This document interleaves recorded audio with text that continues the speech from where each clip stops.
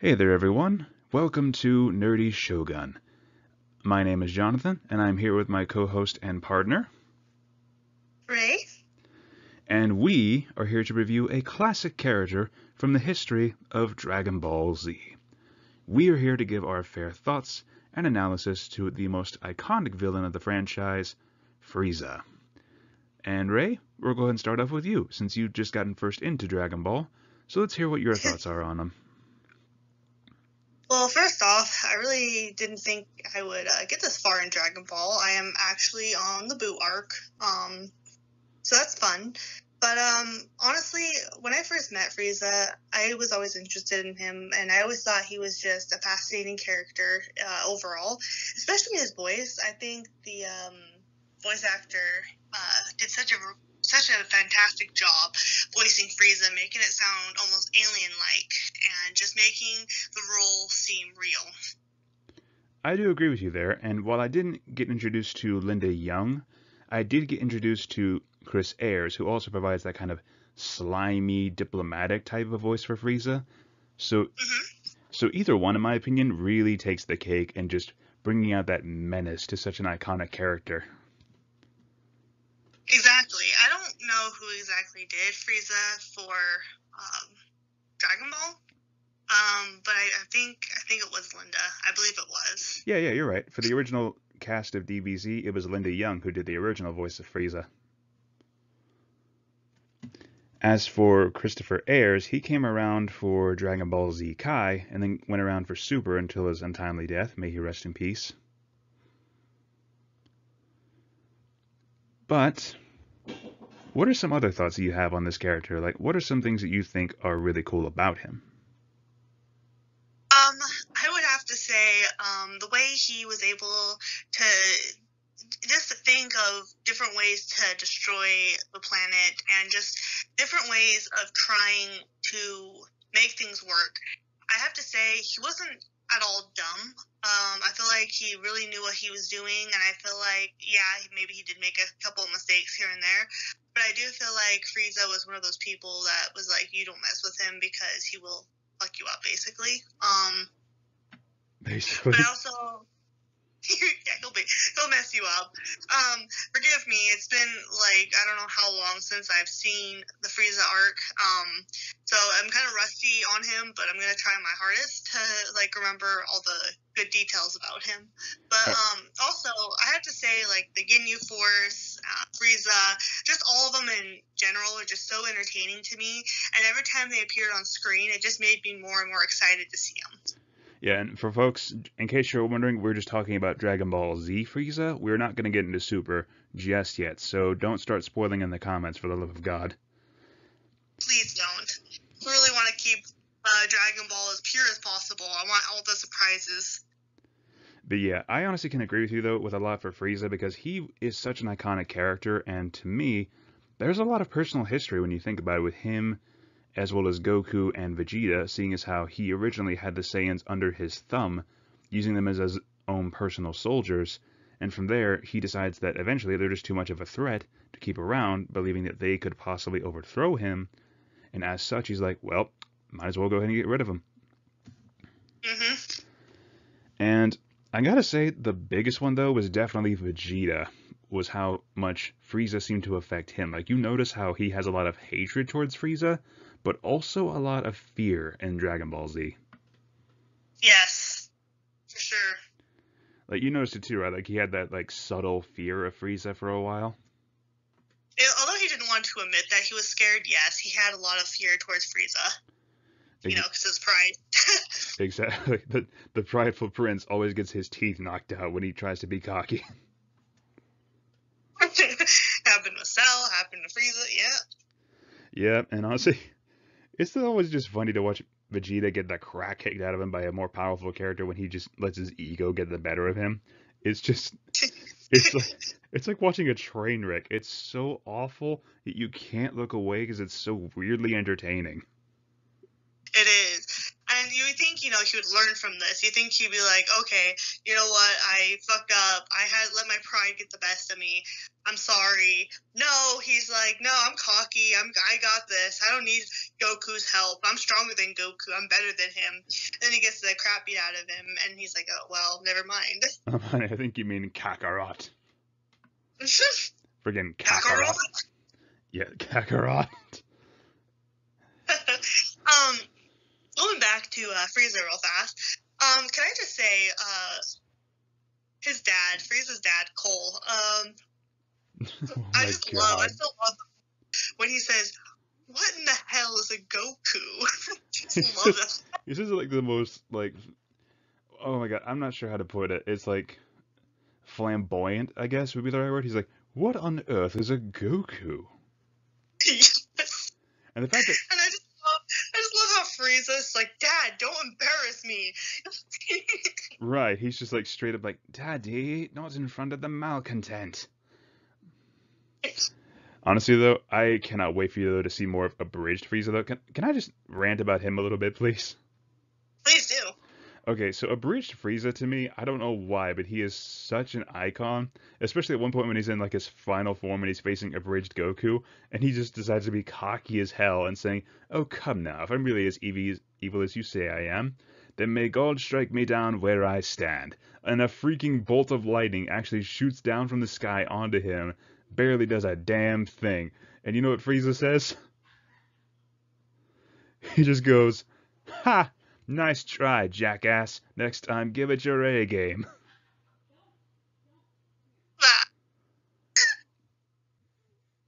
Oh my gosh, that's great. like he's just so damn cocky, and I love it, especially when he gets the crap kicked out of him by Super Saiyan Goku. But anyways, um, so I will say that you will see a lot more of Frieza in Super. Just saying that right now, and I cannot wait for you to see how he progresses as a character. You will definitely be surprised at how he returns, and as well as what he does later on. I cannot wait. Um, I do remember seeing um, Frieza, Cold, the, I think the Force, and Cell all together in hell, and they're like, "Oh, we have a better chance of beating you." Unintentional They get the rhyme is funny. out of They get the crap beat out of them again. But I have to just say, every time I saw Frieza, I just got so excited because, um, again, I know I've only watched the Dragon Ball Z, and I'm pretty well. I guess I'm pretty close to being done with Dragon Ball Z, but so far. Frieza's been the one that stuck out to me the most. I just find his character so fascinating, and every time he's on screen, he always manages to make me laugh. And don't get me wrong, like Cell was a good was a good bad guy. Buu, which I'm kind of like in the beginning of Buu, and I kind of just barely got to know him.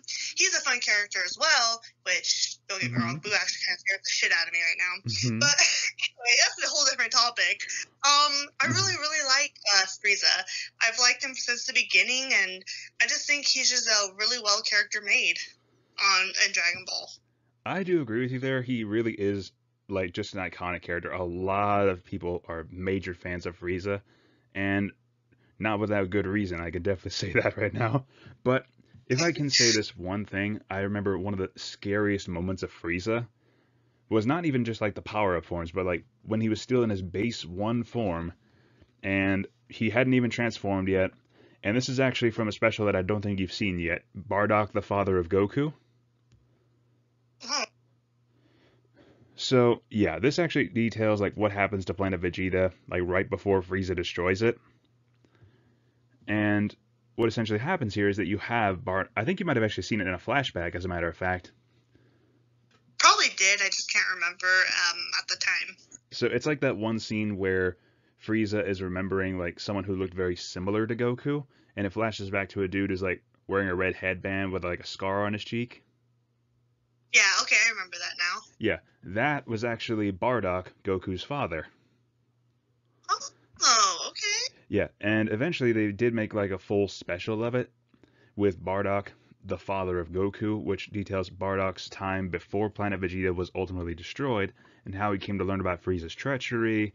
And uh, I'm gonna say this right now: Bardock has got to be one of my favorite characters from Dragon Ball Z, and for a very good reason. Like he's a Saiyan who never even once ascended to Super Saiyan. He never ever found it, but he was definitely one of the stronger soldier types for the Saiyans. But the thing is, what amazes me about him is that even after having his whole squad wiped out and everything else like that, he has the brass balls to fly up to Frieza's ship, demand he come out and face him, and tries to take him out. Like, you gotta admit, that takes some stones right there.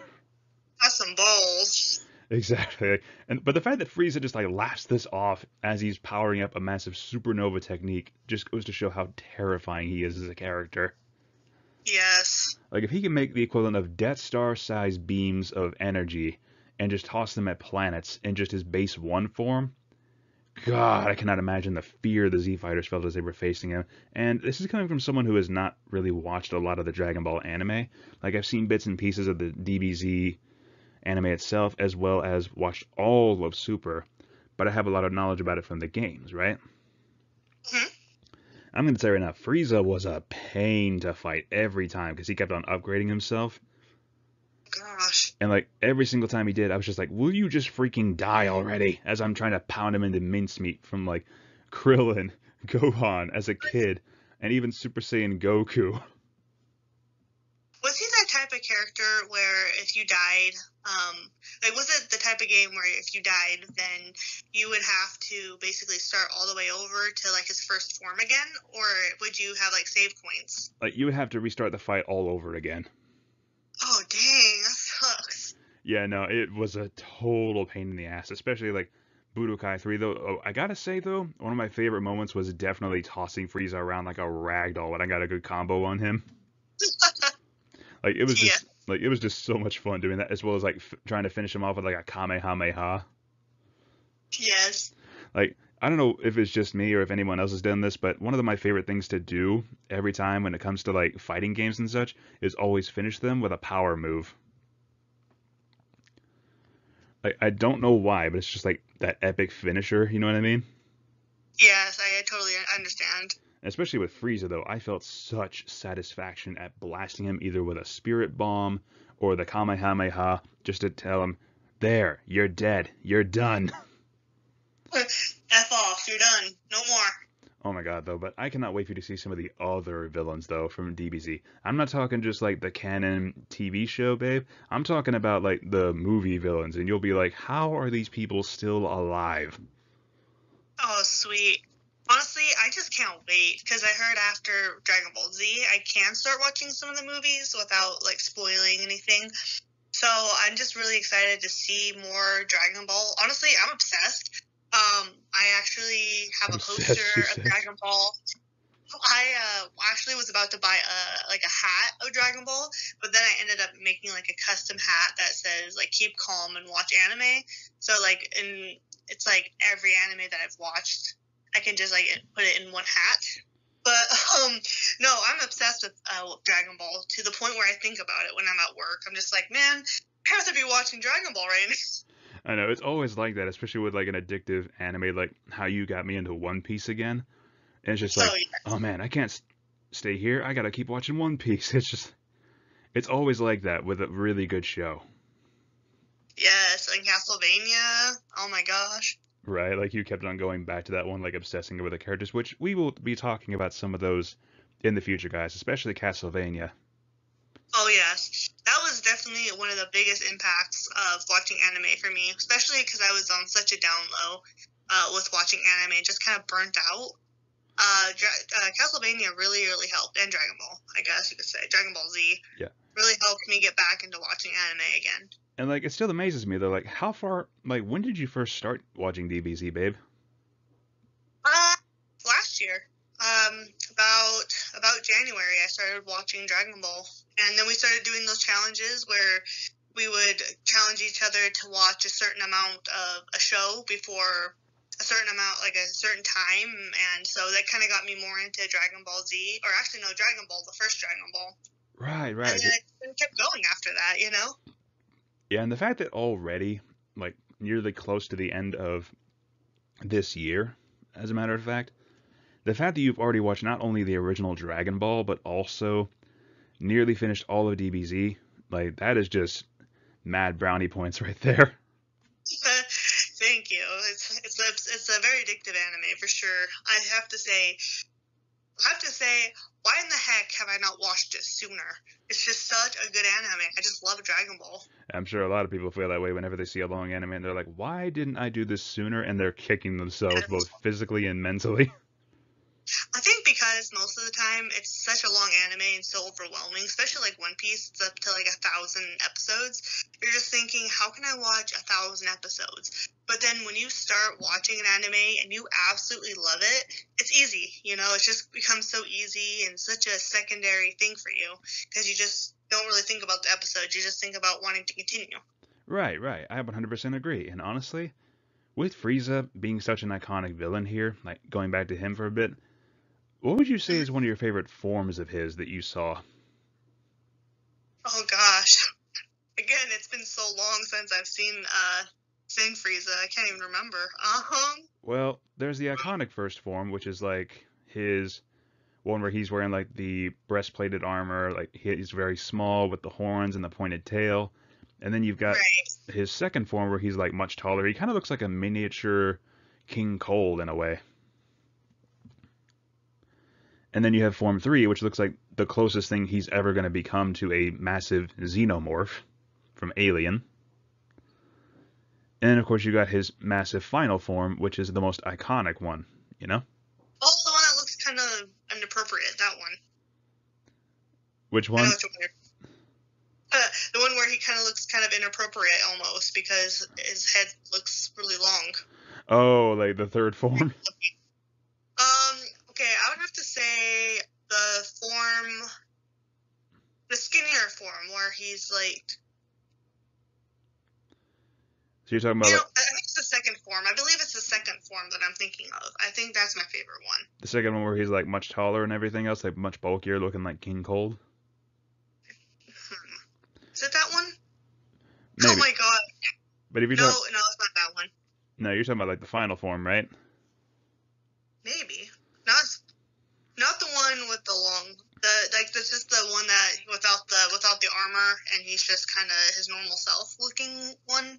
I don't know how to explain it. Yeah, yeah, the final form where he's like very smooth with all the gems across his body, Um, where he's like pure, so. where he's like pure white with all the purple parts on him. believe so. Yeah. Yeah, that's the final form. So yeah, yeah, it makes sense. Yeah, yeah, the final form. Yeah, that one. Sorry, I'm just like I'm like I think but I can't remember. no, I get it. I love Frieza, guys. I love him a a lot. I just can't remember.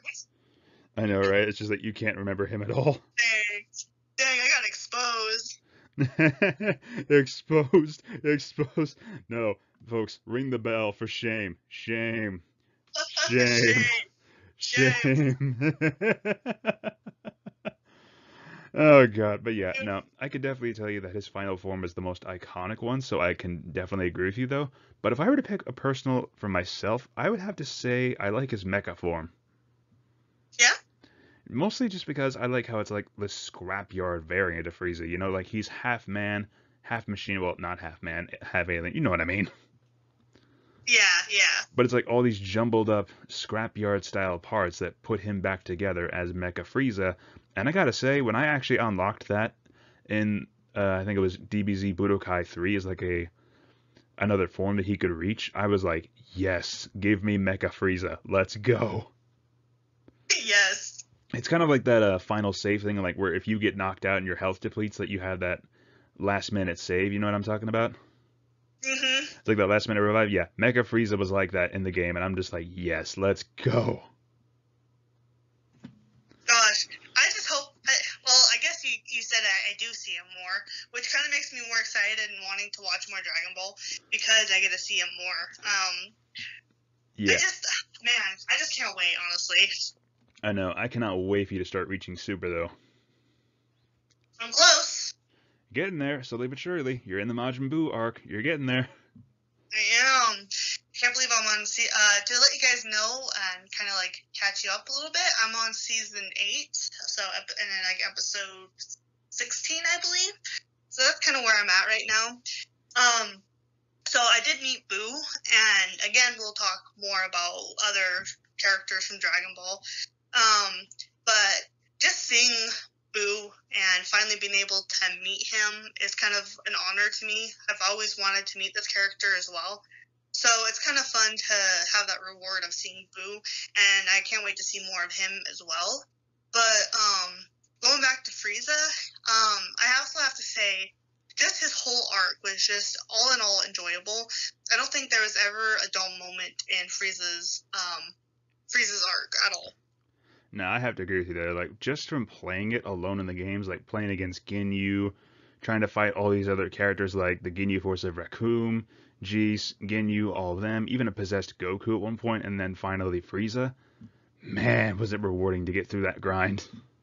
Mm-hmm. But anyways, you guys, we're gonna go and wrap it up for now here. But we hope you all enjoyed this little Frieza analysis and us just being dorks together. Like that's something you're definitely gonna see more of us though. We're both like just major anime dorks, so just bear with us here. we really are, and we both uh, go off track, as you can tell. Yeah. So uh, forgive us for that, but I really hope you guys enjoyed this. Yeah. Um, I can't wait to get more into Dragon Ball. I'm sure there's going to be a lot more fun and excitement. But again, please do not spoil anything in the comments. I really want to watch Dragon Ball as it is and have no spoilers. But all in all, I hope you guys really enjoyed this, and I hope you guys had a lot of fun and you guys join it again. Yeah, and once again, thank you all for listening. If you like what we do here, feel free to leave a like, comment your thoughts on our analysis down below, or subscribe if you're curious for more future content. We really appreciate your support. Thank you all once again for listening. I'm Jonathan, I'm Rei. and this has been Nerdy Shogun. We'll see you all in the next video.